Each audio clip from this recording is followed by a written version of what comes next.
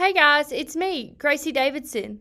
Most people think about being an entrepreneur is about having that big idea, and it is. To start something new, you need to have that idea that works, something people need, something they'll want, at least for the people who are investing. But without the capacity to execute an idea, to take the idea and to turn it into a living, breathing, valuable organization, you're doomed to fail.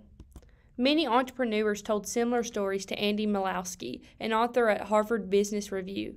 They all shared stories of the trouble and nerves they had when talking to customers. Andy broke down how to push yourself out of your comfort zone to raise money, pitch to investors, and hire and fire employees. The first step is to recognize and own up to the challenges.